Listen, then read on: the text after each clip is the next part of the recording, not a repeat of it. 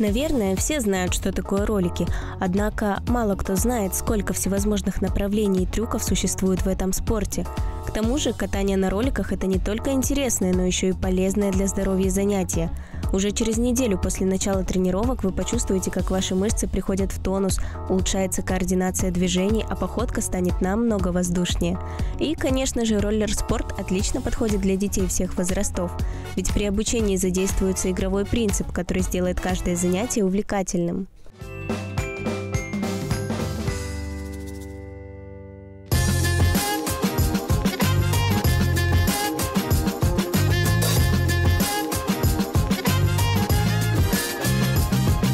Привет! А вы знали, как можно разнообразить ваши утренние занятия спортом?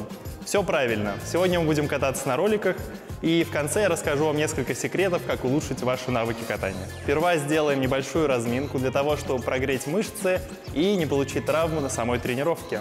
Дети, сперва делаем упражнение «Фонарик».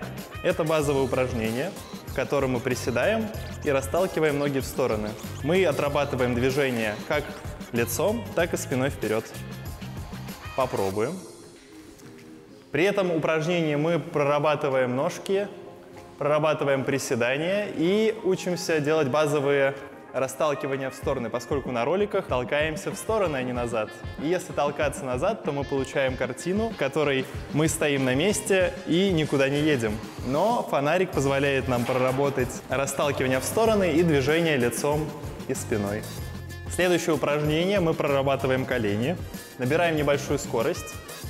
Приседаниями мы проталкиваем суставы в одну сторону и в другую сторону. Очень важна максимальная амплитуда, посильнее в одну, посильнее в другую. И важно не на ровных ногах пытаться это сделать, а как всегда на роликах, для того, чтобы кататься лучше, вам нужно присесть ниже. Дети, поехали. Хорошенько приседаем, проталкиваем, разворотик, лицом делаем обратно, приседаем, приседаем, приседаем. И следующий вариант, мы заваливаем ноги и усаживаемся максимально низко. Попробуем на ходу. Фонарик, заваливаем и усаживаемся низко. Прорабатываем максимально суставы, спинку, все остальное. Дети, поехали! Едем в одну сторону, одну ножку. Ну так, да, интересный текст. Приседаем пониже. Хорошо. Следующее упражнение называется полубаланс на пятке.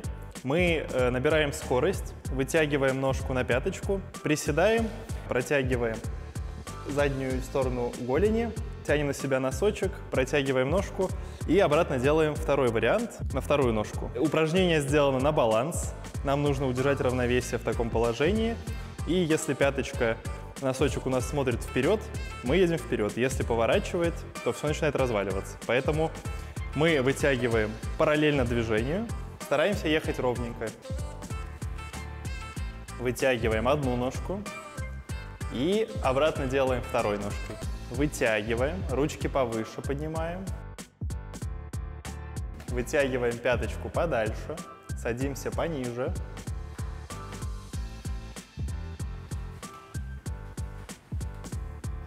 И наше финальное упражнение на разминке.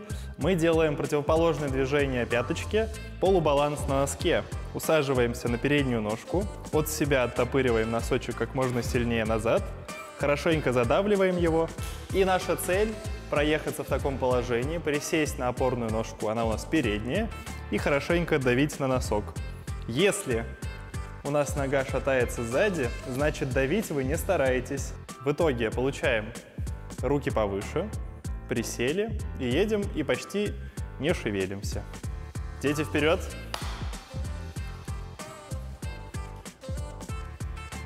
Вот так, прям до упора, да. И не забываем то, что мы делаем в одну сторону одну ножку, а во вторую сторону другую ножку.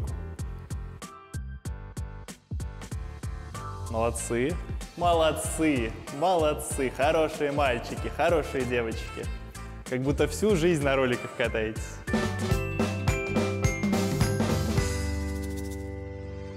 В этой разминке мы проработали хорошенько приседания, размяли колени И поскольку сегодня у нас будет слаломная тренировка, а слалом это направление больше про баланс, поэтому мы проработали также базовые упражнения на баланс. И сейчас мы объединим два наших упражнения, которые делали на разминке. Это полубаланс на пятке и полубаланс на носке. И из полубалансов мы сделаем просто баланс. Первый вариант. Мы устанавливаем полубаланс на носке и затем небольшим приседанием вниз мы выталкиваем себя вверх, чтобы поставить вторую ногу на пятку. Мы хотим присесть, выйти и потом обратно аккуратно присесть. Это нужно для того, чтобы ты привык выталкивать пятку перед собой. Сперва носок, приседаем и толкаем. И постарайтесь приседать пониже и выталкивать посильнее. Мы хотим увидеть такую картинку. Смотрите. Если носок стоит близко, то пятку нужно вытолкнуть немножко подальше вперед. Если они будут стоять совсем близко, то мы будем ронять либо пятку, либо самое плохое, когда носок у нас вылетает вперед. Тогда будем падать назад. Итак, выталкиваем пятку, держим спинку. И далее мы попробуем маневрировать в этом элементе, то есть вот наш баланс, и попробуем поворотами ехать, проезжая сквозь конусы. 80 сантиметров между каждым конусом. Таким образом ты прорабатываешь одинаковое движение, и техника качается намного быстрее. Во-первых, набираем скорость. Если ехать очень медленно, у нас скорость рано или поздно закончится, а конусов у нас больше, чем скорости, которую можем набрать. Мы хотим научиться еще и разгоняться. Мы можем накатом, задав первую скорость, проехать сколько-нибудь далеко, но потом, расталкиваясь передней и задней ногой, мы можем эту скорость набирать сколько угодно раз. Все упирается только в сам баланс. Отрабатывая плечами и тазом в разные стороны, мы создаем натяжение в нашем корпусе, и используя потом толчки ногами, мы можем набирать эту скорость бесконечно. Пробуем делать упражнение. Поехали. В самом начале старайтесь не торопиться. На маленькой скорости, конечно, делать сложнее, но чтобы техника становилась правильной и вы все делали не торопясь, смотрим на дорожку. Старайтесь сохранить центр тяжести над дорожкой, не смещаясь вправо или влево.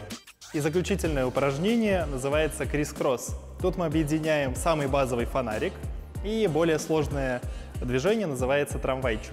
Расталкиваем, собираем, но они не на одном уровне становятся, а одна нога уходит немного вперед, другая заходит за ней. И мы таким образом попадаем в элемент, который называется трамвайчик. В нем что важно? Вес мы держим не на одной какой-то ноге, а стараемся стоять на двух ногах сразу. Это довольно сложно и не сразу получится, но давайте ручки держать на уровне плеч.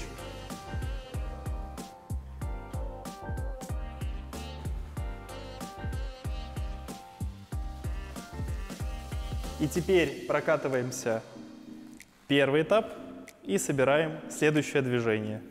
То есть мы без конусов пытаемся сделать несколько движений за раз.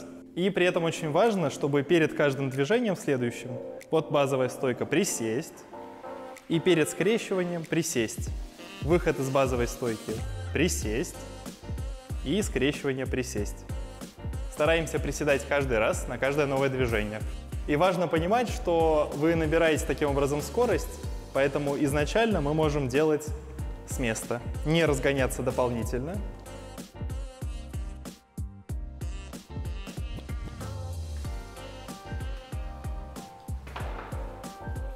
И заключительный этап нашей тренировки мы пытаемся то же самое повторить на конусах. В чем сложность? Изначально сложность в том, что у нас ограниченное расстояние вперед, и мы не можем растягивать наше движение очень далеко вперед. Чтобы поместиться, мы будем делать это движение с остановкой. То есть, выходя в следующий этап, мы останавливаемся, смотрим, поправляем и делаем дальше. То есть делаем крис-кросс полный, выходим, останавливаемся, приседание, еще приседание и остановка. Таким образом мы прорабатываем движение на маленьких участках и потом сможем собрать его уже в более скоростное движение. Попробуем. Приседаем на каждый конус с остановочкой.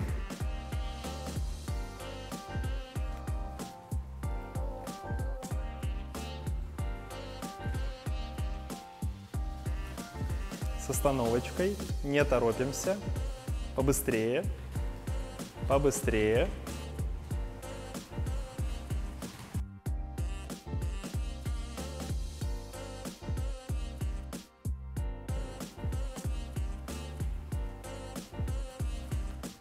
После отличной тренировки вы можете отдохнуть, вы, ребята, молодцы сегодня. А я расскажу еще несколько интересных вещей и секреты, которые я обещал.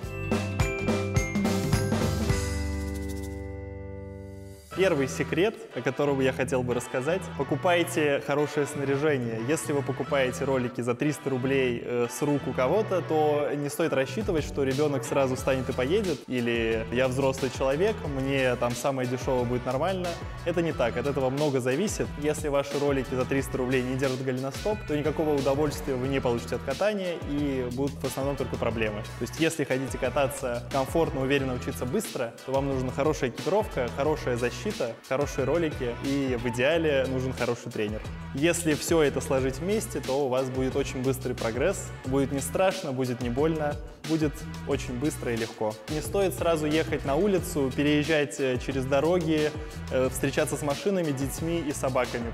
Ведь когда вы становитесь на ролике, вы не очень-то уверены в своих собственных движениях, и внимание на весь остальной мир у вас уже размыливается, и можете попасть в серьезную ситуацию очень легко. Поэтому сперва рекомендую потренироваться в стерильном месте, во дворе, на плоской площадке какой-нибудь, где много места и не очень много людей. Отработать базовые навыки с точки зрения торможения, набор скорости, повороты. И чтобы была возможность ехать на роликах, вертеть головой, видеть и при этом не падать. Вот э, в таком случае можно пробовать выезжать на улицу, проверяем, закручены ли все детали, проверяем, люфтят подшипники или нет. Если у вас ролики шумят, э, шуршат подшипники или плохо крутятся колеса, это вполне может значить, что когда вы съезжаете на огромной скорости, у вас что-нибудь отвалится. Поэтому в поездку берите с собой ключи, которые можете все закрутить в роликах. Обязательно берите с собой небольшую аптечку с хлоргексидином, с пластырями, чтобы если у вас э, получилось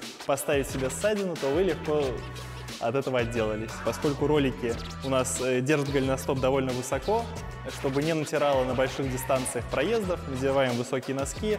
В идеале это роллерские носки, которые впитывают в себя влагу, и ваша нога будет чувствовать себя после катания полдня вполне себе комфортно и удобно. Надеюсь, вам понравилось наше занятие. Занимайтесь спортом и пока-пока.